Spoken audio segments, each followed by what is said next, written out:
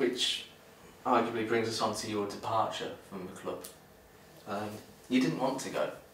No, So- never even thought of it for a minute when I walked into the, that board meeting on that Tuesday morning. I think the night before we'd won away at Crystal Palace or or Wimbledon, one of the two, but at Crystal Palace.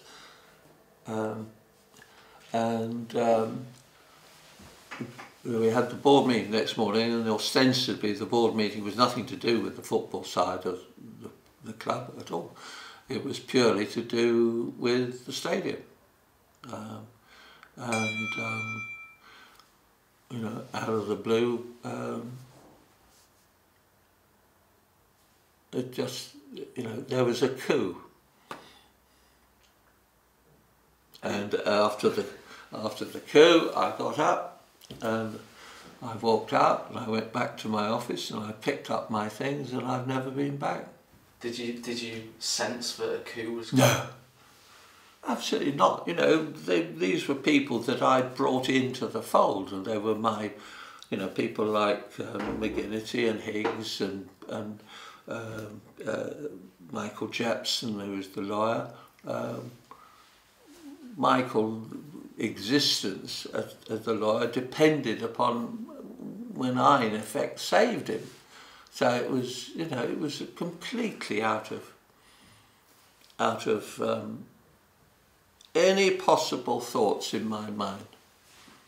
Do you know why it happened? Uh, well, I do. Um, it, it's, you know, as is often the case, these things are usually about personal motive um, rather than good good sense.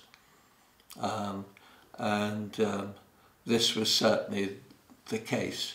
It was nothing to do with, you know, um, confidence in me. They'd had, a, you know, absolute confidence in me at every single meeting all the way along, and everybody kept saying, you know, doing a brilliant job. We're keeping the thing, the plans for the stadium, the deal with Tesco. You know, people don't do that and get all that done if they're not quite good at and were doing it with the support of, of the board. So, You can't do it unless you've got the support.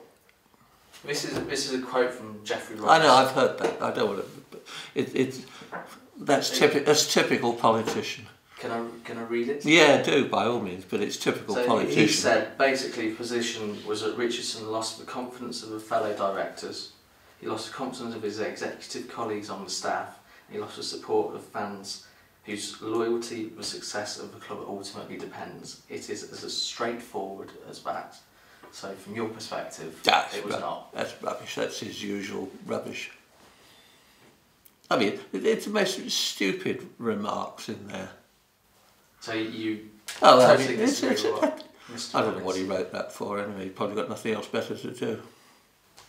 I sense. Hmm? Have you, Mr. Robinson, spoken since then? Sorry? Have you and Mr. Robinson spoken since then? No. Why would I? I know too much.